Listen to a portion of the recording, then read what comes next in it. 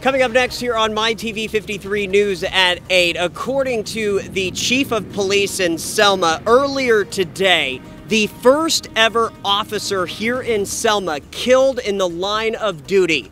We've got team coverage right now. New, local, unique. My TV 53 News at 8 starts right now. From My TV 53 News, this is a special report. Good evening and welcome to the San Joaquin Valley's only 8 p.m. news. I'm Austin Reed. We are reporting tonight from Selma, California, where earlier this morning, just before the noon hour, the first ever, according to the chief of police here in Selma, the first ever officer was killed in the line of duty. He was a Selma police officer. Now, tonight, we are standing right in front of the Fresno County Sheriff's Office Command Center. You can see that the crime scene tape is still up at this hour. This whole situation caused Eric White Elementary School here in Selma to go on a lockdown for a number of hours. No kids were hurt. But let's start with the latest from Fresno County Sheriff John Zanoni alongside the Chief of Police in Selma with more information. Today at approximately 11:45, one of our officers was flagged down in the 2600 block of Pine Street. The uh, person that flagged down our officer advised that the suspect was suspicious and unknown to the area. Uh, as our officer exited his patrol vehicle made contact with the suspect, the suspect shot him several times uh, and then fled the area. Our officers arrived on scene shortly after and began life-saving efforts. Our officer was transported to CRMC uh, trauma for his injuries and unfortunately succumbed to his injuries a short time ago. The Fresno County Sheriff's Office will be conducting this investigation. Uh, what I will say is, as a precaution, we have a Eric White Elementary School, which is located approximately one mile from the scene of this incident. Uh, that school is locked down as a precautionary measure to ensure the safety of our children. After a short search uh, of the area with Selma Police Department, Fresno County Sheriff's Department, and multiple local agencies, uh, the Sheriff's Office, a, a Sheriff's Department deputy located the suspect and he was taken into custody.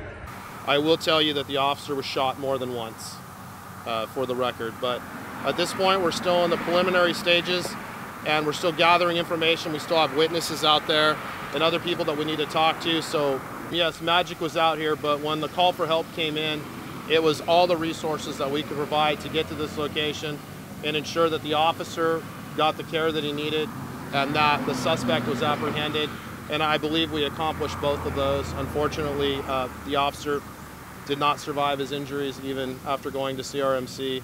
Uh, there, is, there is a gang connection to this, and uh, we'll release more on that at a later date, but uh, we're working on that right now to tie up the ends as far as what, when, where, and how, and just really trying to wrap our minds around why this happened today, uh, why this individual decided to take on one of the police officers who's here to protect our community in such a senseless act of violence. Uh, probably for an individual who should have been in jail or in prison. Um, he was wanted by probation. He had failed to appear for probation appointment back on January 17th of 2023, and along with his priors for possession of a firearm, being a felon, and armed robbery. Uh, this is the sad end result to kind of a worst case scenario, what happens when these individuals are out in our community. This is a suspect that we've dealt with in the past and had law enforcement contact uh, prior to today's incident.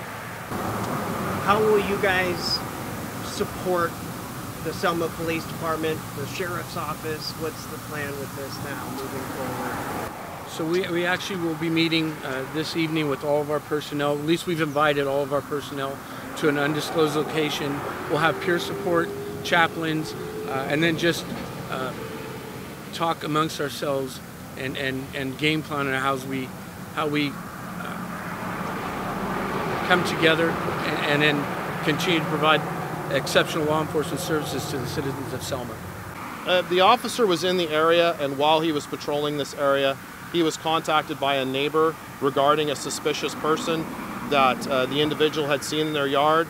At the point that he saw them and attempted to make contact, that's when the shooting occurred. I'd just like to add that uh, for our citizens here in Selma to please uh, just be vigilant, continue to please call us. Uh, right now, more than ever, uh, our community needs to come together and pray for our officers' family and pray for our, our, organization uh, that we can and, and that we will uh, come together, become stronger, and again, work together with our community to provide the safest environment for our children and for our community members. I believe that in a case like this, when you have the senseless, needless, violent killing of a police officer, I believe that they should be eligible for the death penalty. Uh, these are individuals that need an extra layer of protection, being police officers and law enforcement and deputy sheriff, because they put their lives on the line every day to make sure that we have a safe community where we can work and live. And they take that risk every minute, every hour of their shift. And they need that extra protection so they don't become victimized by senseless violence like we saw here today in the city of Selma. I am, uh, I'm, I'm, I'm horrified right now. As a police chief, uh, leading uh, those people that, that, are, are tasked with providing a safe environment for our community members, this is this is the worst case scenario for a chief and for a leader. Um, I would kind of echo what the sheriff said is it appears from the surface that this was all avoidable and that's the unfortunate part. At some point we, have to start being mindful as citizens. We all have a part to keep our community safe and, and and, and taking responsibility for our actions. You know, we're always uh, criticizing law enforcement for the things that we don't do well or when we when we have issues or concerns or the community has issues concerns. Well, I think it's time to start asking those questions of our community members, right? And looking at looking at ourselves because police policemen are, are, are born and raised in our communities all over the all over the nation, right? They bring those experiences into uh, their profession, and, and it, it's appalling. It's appalling to watch what's going on, and and and not having a different narrative is how we fix it together as a community, not just government, but community as a whole, because we are a community, right? So, what I'll say is that uh, he was a phenomenal young man, great smile, always a positive attitude. Um, just always upbeat you know, that, that's what I'll say. We didn't just lose a police officer, we lost a great human being. And, and that's the unfortunate part. Because at the end of the day, uh, he's one of our community members. Now, we also spoke with a parent who was steps away from Eric White Elementary School, anxiously waiting to pick up her kindergartner. Let's hear from her now. As a parent, I know as a parent, this must have just been. Yes, I, awful. I couldn't think. I couldn't think of what was going on just with the helicopter and seeing all the cops everywhere. I was at for less and I seen them all smashing, but they don't know that it was gonna be here at the school. And then when I seen the helicopter going around the block, I was like, "It's the school! It's the school!" It can't be anywhere else but the school. How yeah. was how was the information from the school, from the district, from the police? How how did I mean? Was I called, it good? I called so many times that I didn't. They didn't get any answer. But then one of my brothers from Kingsburg called me saying this is what's happening. And since people have Facebook, people are like, I don't have Facebook myself, but other people around me are like, this is what's going on, and I'm pregnant. So she's like, stay calm, don't don't think anything of it. It was a cop, not the kids. Which I was like, Phew. but then again, it's not because the cops are also, you know, there to protect the kids.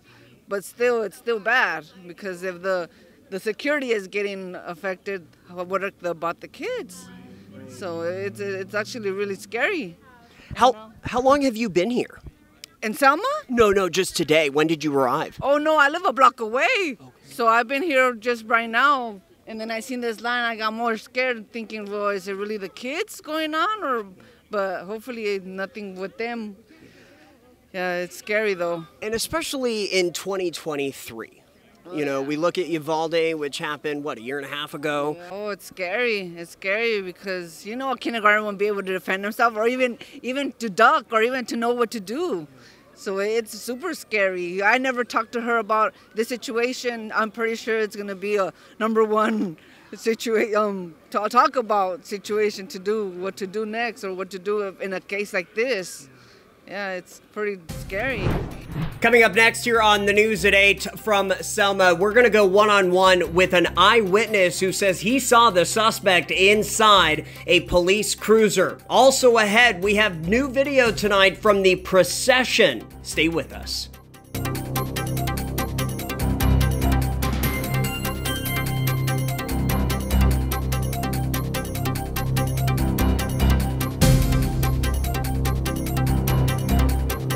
This is breaking news from MyTV 53 News. My TV 53 alongside Sewell News arrived here in Selma right around 12:30 and I spoke with an eyewitness. His name is Fernando and he's a student at Fresno City College. Well, he tells me that he actually saw the suspect inside a police vehicle. Let's hear what he had to say now. From what I know so far, I was coming back from class. I saw everyone on the highway zooming over here, and I was getting home, trying to use the restroom. Everything was blocked off, the whole block and everything. And as I get here, I just ask around. I hear one of the officers got shot, and then I continue to call my friends and everything. One advises me that one could be a potential uh, gang member from one of the shootings. And from what I've seen, I think just a, a Mexican looked like he was in his 40s in the back of a police car, being one of the shooters, and pretty much all for right now. Have you ever seen something like this? Mm, no, but yeah, around Salma, around these towns, yeah, it does get kind of dangerous. It's kind of it's kind of likely to happen, but just to be ready for it, just be safe. Now, when when you were when you were driving and kind of seeing some of this, what was going on in your head? What was going through your mind?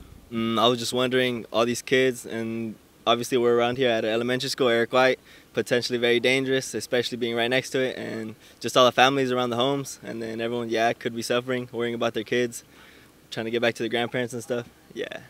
Now, this started at what around 12:30. That's when the school went officially on lockdown. Where were you at that time? I was on the freeway heading back, and yeah, as I got here, I noticed everything was locked up, closed down, and yeah, they're doing the shutdown around the houses and stuff. Now, if you are just joining us, let's bring you up to date. Around 11:45 a.m. today, a homeowner flagged down a Selma police officer patrolling the 2600 block of Pine Street regarding a man being on her property. As the officer went to make contact, the man fired several shots, striking the officer. The armed suspect ran from the scene. Selma police officers, Fresno County Sheriff's deputies, CAL FIRE firefighters, and Selma EMS responded and gave medical aid to the officer. He was transported to Community Regional Medical Center and he was taken to surgery and later passed away. Multiple officers and deputies responded to the area. Around 12:10 p.m., a deputy spotted the suspect near Fig and Sequoia and he was taken into custody. The 23 year old suspect's gun was later recovered a short distance from where he was arrested. Law enforcement is familiar with this suspect. He has a criminal background including charges for firearms, possession, and robbery. He has served time in prison and is currently on probation as part of California's AB 109 law. That's prison realignment. Eric White Elementary was temporarily placed on lockdown. Once the situation was deemed safe, students were released to their families. The officer has been with Selma Police Department for two years. This marks the first line of duty death for the Selma Police Department. No officers fired their weapons. There are no other outstanding suspects. The names of the officer and suspect are not being released at this time. This remains an ongoing investigation. The Fresno County Deputy Sheriff's Association is supporting the Selma Police Officers Association by establishing a memorial fund in which all donations will be given to the officer's family. Anybody with additional information in this case asked to call Valley Crime Stoppers at 498 STOP. You can remain anonymous and may be eligible for a cash reward. Coming up next here on the news at 8, we're going to have a look at your weather forecast. Also ahead, we have new video tonight from the procession, which was held in downtown Fresno right around 6 o'clock tonight. This is My TV 53 News at 8. Stay with us.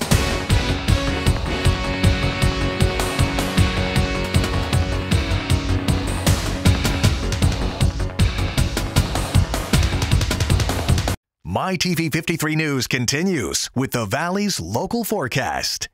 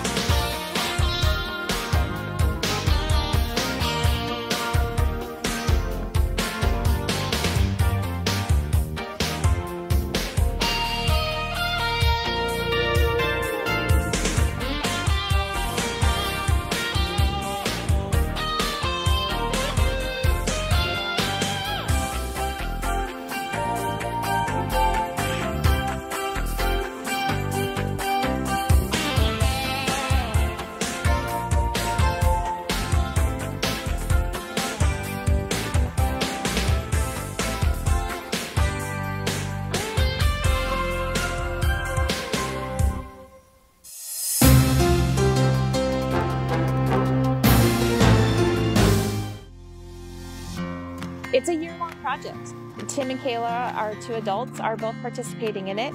Hazina is not quite old enough. She's sort of still in training.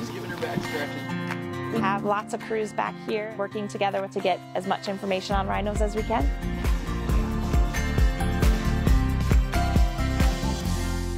So our adult rhinos at the Fresno Chaffee Zoo are participating in the AIRS project. We are lucky enough we get to partner with Dr. Parker Pennington. She's from the Cincinnati Zoo Botanical Gardens. Here, This bracelet looks good. The AIRS project is the American Institute of Rhinoceros Sciences, and it's a collaborative project investigating rhinophysiology from a variety of perspectives. Yay, I don't have to weigh anything back or do any more math. Look how eager you are to work with Parker. So part of this project was collecting heart rate data on the rhinos. At his belly real quick, let him roll here. It's made for horses, so it's meant to sort of wrap around the side of the chest and get a heart rate that way. It's been difficult to get on the white rhinos, I think, just because they're so big. Ugh. The science has proven to be a lot harder than you would think. Those are our muscles. Oh my god. Once a month, we're collecting blood just to see how they change over time with the different seasons, um, how different things affect the rhinos. Um, the easiest spot is really their front legs. They have nice big vessels that run down their front legs, and when they stand there and they're busy eating, they've got that nice thick skin, they've got great big vessels. A lot of times they don't even look at you, they don't even stop chewing. We quickly figured out every time we were working with Kayla, her year and a half old calf, Hazina, did not like that mom was getting attention and that she was in the barn by herself and she didn't know what was going on. If she was not part of it, she was in the barn making all kinds of noises and throwing her toys around. She was basically trying to get attention, is what she was. So we had to bring her out as well. And here she comes. Hi. And as long as she was out and could see all the people and she was getting attention as well, then she was nice and quiet and she was calm and she stayed out of the way.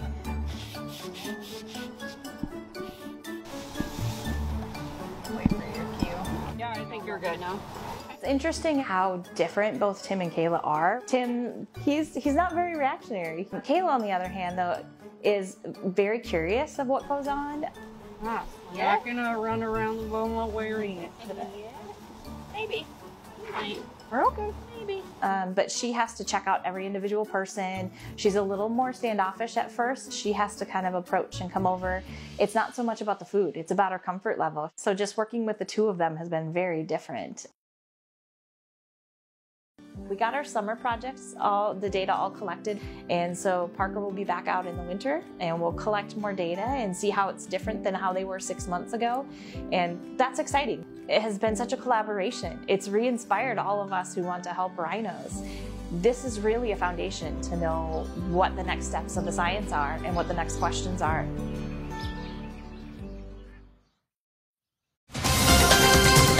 This is My TV 53 News.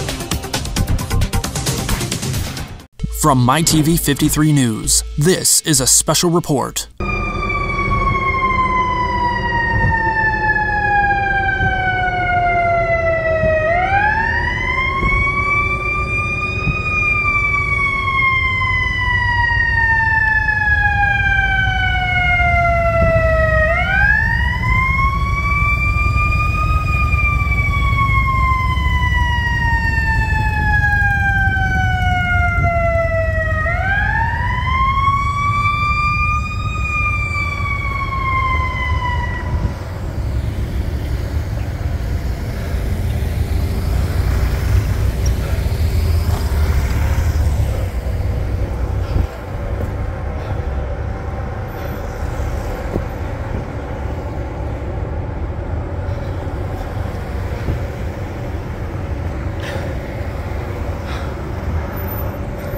I get your name? Tony Gallegos. So, Tony, you came out to the procession this evening. Tell me why. I was at the dentist this afternoon. I got a news feed, a news alert, and I read it at around one o'clock, and it was a, a shooting. And as I come, I was coming to to my see my doctor over here at the hospital. I seen uh, all the all the police cars and all that, so I knew it was gonna be an escort. So me and my wife got out to honor the fallen officer.